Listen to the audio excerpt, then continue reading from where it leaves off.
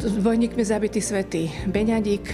Tí zbojníci až potom neskoro vlastne si uvedomili, čo spravili. Tu zo skaly, na ktorej je postavený kostolík, tak hodili ho do váhu.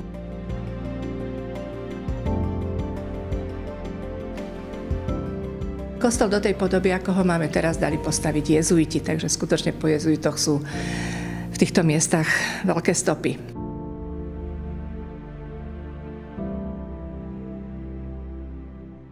Obrovská púť sa tu uskutočnila v roku 1924, keď bola znovu vysviacka tohto opraveného kostola.